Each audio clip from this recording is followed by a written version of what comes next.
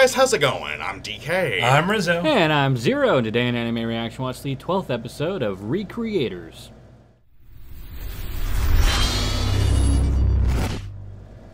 If you want to check out our reaction to the 12th episode of Recreators, hit that link in the description below. And be sure to give us feedback in the comment section because we love hearing from you. and as always, if you like what you see, subscribe to Otaku Saga, and don't forget to like and share our videos. And thanks for watching. So, Basically, wrapping up that meeting with uh, all the creators and the government and Sota. We also get a. Uh, I, I really like the interaction that we started off with with uh, Altair. No, not Altair. Um, Alicetaria and Blitzer. Oh. That was pretty interesting. In the, in the crater post Mamika. Poor Yeah. Here, there, and everywhere. Yeah. But um, yeah, yeah, I, I really like that too, where you start to see, I think, um, Alicetaria starting to come around, I guess. I think you really started to see that come around in the last couple episodes, though. Well, slowly but surely. But after a little interrogation of her creator, uh, I think it's all more or less confirmed she's going to switch sides. Well, or die trying. Or die trying.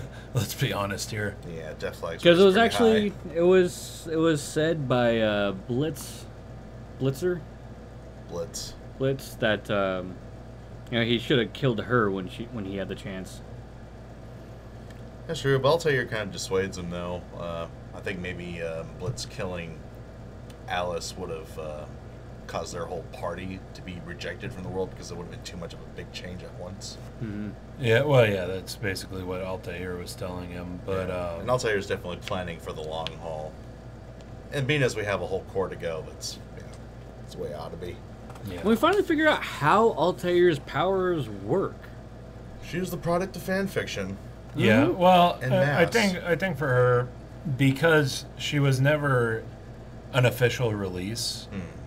That's why I think it's a lot more flexible for her to be for her to have powers added.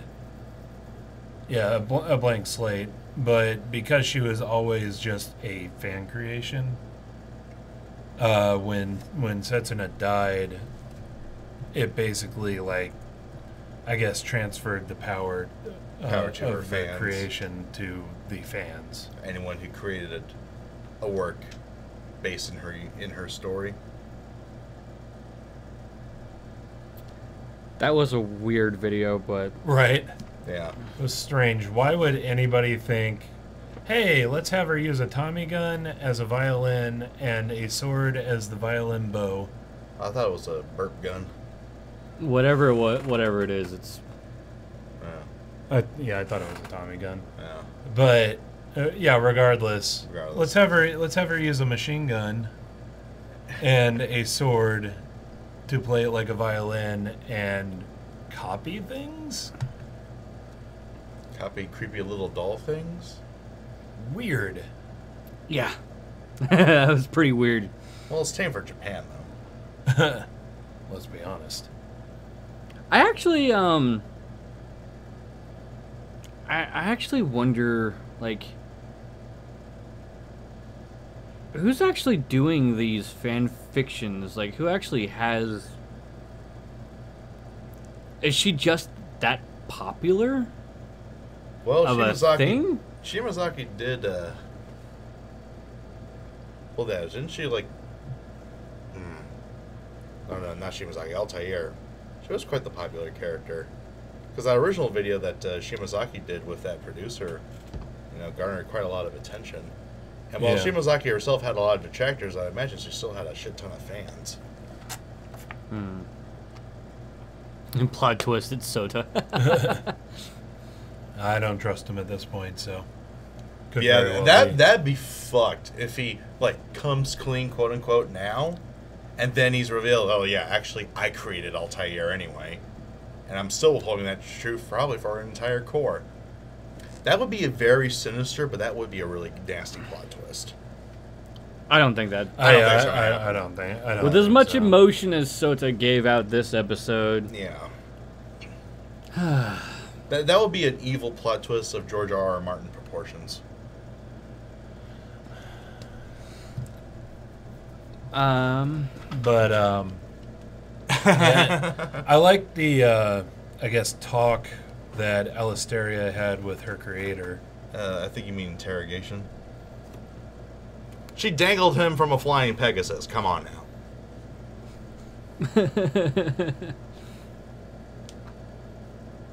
But um, Ah, true. yeah, I just I, I like I liked how uh, Alicetaria is starting to come to I guess an understanding with her creator instead of just outright hating the bastard.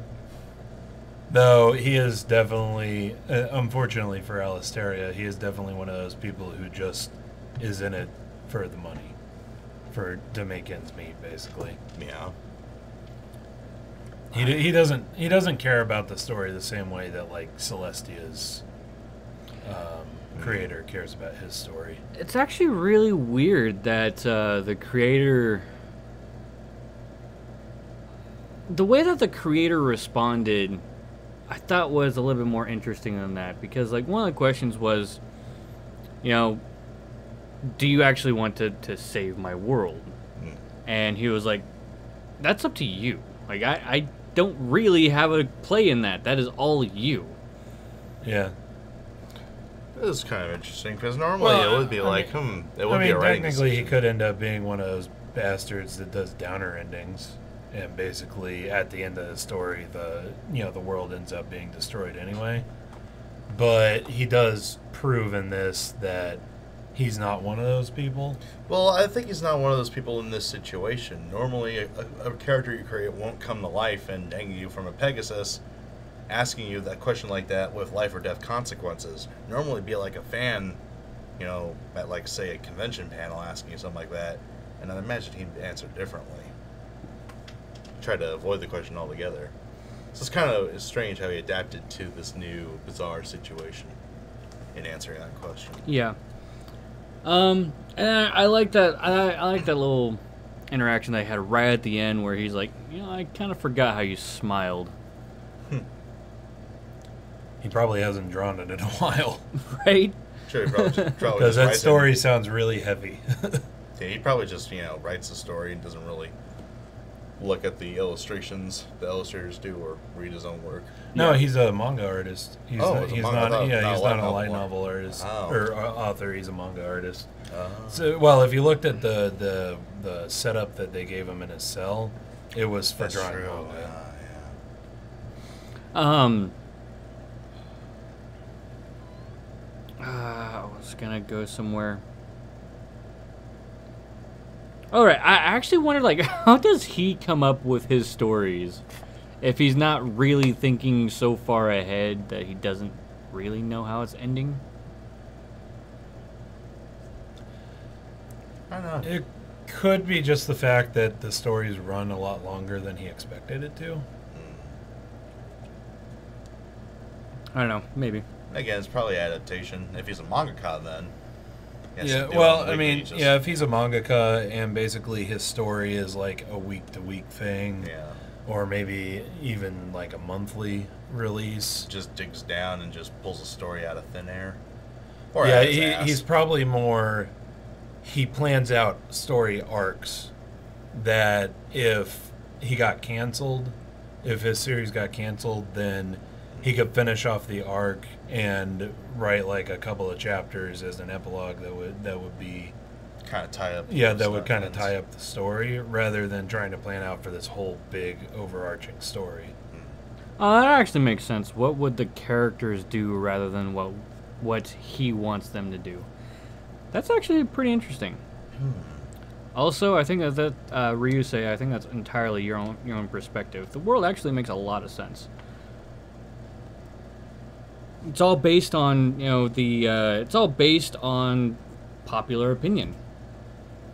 How, uh, yeah, but fan input basically. Yeah. How do you know the uh, the whole? Uh, I'll go ahead and roll into what what comes out. What we the other part that we get uh, introduced to, the cage of uh, yeah. Altair. Meteora's Yeah, ba- setup. basically, the government is going to create the ultimate crossover, official crossover between the all these series. Yep. to get all the creators, their publishers and editors and everything create an ultimate crossover story in which Altair's powers are limited, and then the rest of the creations attack her in mass. Um, yeah, and, and I love that. So if they can get, if they can get all these creators of the characters that are actually alive, mm-hmm. rework a spin-off series to combine all of these stories, and at the same time give buffs, give magical powers, etc., etc., to all Basically, these. basically make Super Smash Brothers with Altair as Master Hand. but Pretty uh, much. Mm-hmm. all in a specific format, I guess. Mm-hmm. Yeah, well, in order to get the maximum effectiveness out of the powers that are going to be given to the good characters, um, they need a large audience for it. Yep. But as uh, what's her name, the the government agent lady states, government pushed uh, functions are not ever very popular. So it needs to be more pushed from like uh, like the the publishers or something like that. Yeah. Comic. Publishers, fans, fans, Comiket, probably. or it's Comiket, or something that surpasses it. Yeah. Or they have to make something that surpasses Comiket. The internet. The internet, yeah, the internet and the creators have to work together on this one. It's got to be huge. I mean, it's, it's the fate of the well, world. I mean, yeah, they're probably going to end up like streaming it worldwide or something, streaming Yeah. the event worldwide or right out the something like Tokyo. Dome or some shit. Yeah. Um, But they give a what was it? Six months? Three months. well, okay, so they're talking about the time period in order to get this done, and the government lady says it can be no no sooner than three months, or about one anime cour. Or about one anime cour, conveniently. but they they so they're starting out with a tentative timeline of six months to give themselves enough time for setup. I, li- I and then I don't know. It seemed like this episode in general, because that's pretty much what we leave off in the anime. Um. Actually, there's one more development before the episode ends. Oh yeah. Yeah, on Altair's side, she gets a new player in her on her team. Right. I'm sorry, bro. Who saw this coming? It's really not a shock. Um, and then, well, at the same time, uh, the illustrator already told Celestia, Yeah, he's kind of spoiled. like, wait, like total spoiler. Like um, way, what was it? Episode four, yeah, something like that. yeah. you know, the illustrator told Celestia that her dude totally betrays everybody and kills one of her friends. In In the story. in the story. yeah. Et tu, Brute?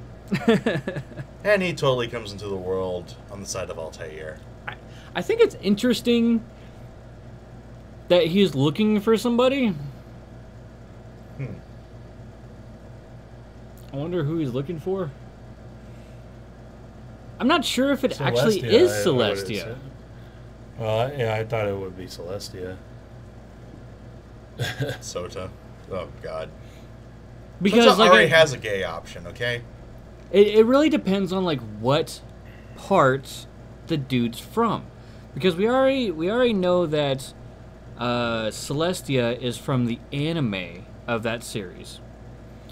And the anime of the series is not cut up to the light novels. So if this if the guy that we're talking about here is from the anime or, or not from the anime, from the uh, the light novel way off in the future, Oh, okay. he might know a little bit more of what's going on with Celestia than Celestia knows about herself. So, the so our boy's motives here, you're saying, depend on what part of the story he came from.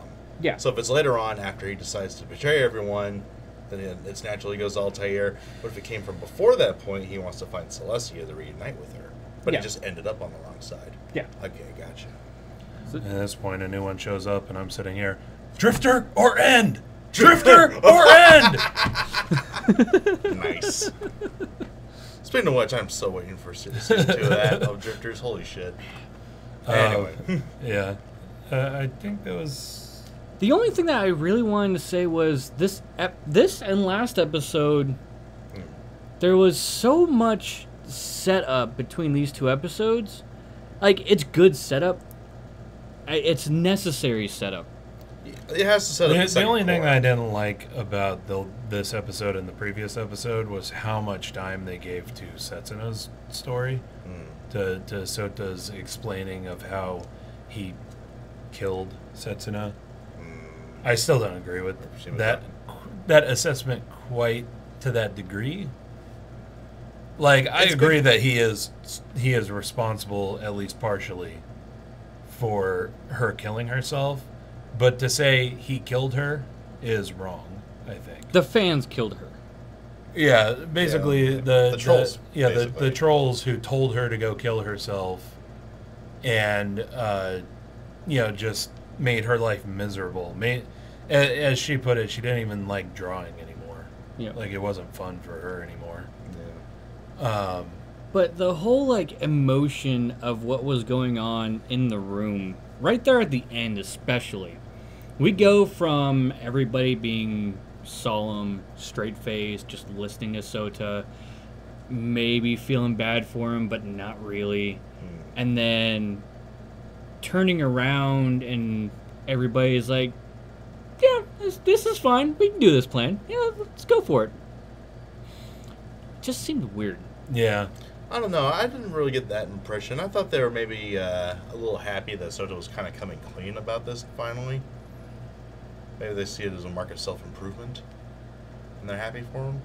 You don't even get that emotion though. Hmm. The only person that you get interacting with Sota about the whole deal is what was it, Matsuba, the uh, Celestia's author. Celestia's author, who's like, "Yeah, you're totally." I, I can. I if can. you didn't feel bad about this, I wouldn't want to talk to you. yeah. Which I mean, I, I guess is true. Like, I, I can definitely see that point of view. If he didn't feel anything for what he did to Setsuna, then he would be a shitty person. Yeah. However, I still don't agree with him. You know, considering, like, considering to his to himself that he killed her. Yeah. I mean, And then at the still- same I time- can't agree with that. But Matsuba said himself, "You know, I probably would have done the same thing yeah, I might have done the same thing in that situation. because it's a, a it's a tough situation to go through." And yeah, I feel in th- in this series, in like from what we've seen, everybody's secretly thinking TLDR, dude. Like Maybe that's why they're happy.